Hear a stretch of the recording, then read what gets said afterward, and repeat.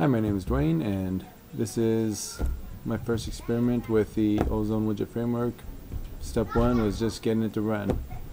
Um, so first thing I had to do was download the Java Development Kit, JDK, and next thing I had to do was come in here, right click on Control Panel, Properties, go to Advanced System Settings, Environment Variables, and I had to set a Java Home variable pointing to where the Java runtime environment is located. Alright, once that was set, I was able to go into the Tomcat web server.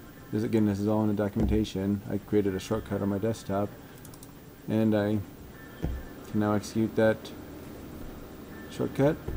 It's launching the Tomcat web server, and that takes a little bit of time.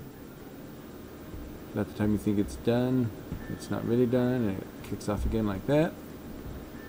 And now I'm going to come in here and launch my browser. I'm going to continue on.